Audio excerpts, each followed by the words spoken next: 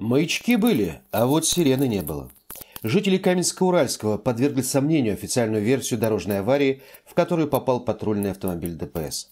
Напомним, 11 октября около двух часов дня на перекрестке улиц Октябрьской и Исетской в Каменске-Уральском столкнулись гаишная «Шкода Октавия» и «Лада Веста».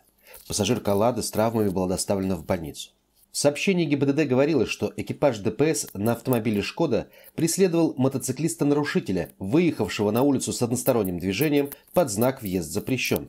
При этом в патрульном автомобиле, также вынужденно двигавшемся по односторонке, что называется, против шерсти, были включены световые и звуковые сигналы, то есть проблесковые маячки и сирены. Однако очевидцы этого происшествия предоставили запись автомобильного видеорегистратора, заставившую усомниться в работе звуковых спецсигналов на патрульном автомобиле.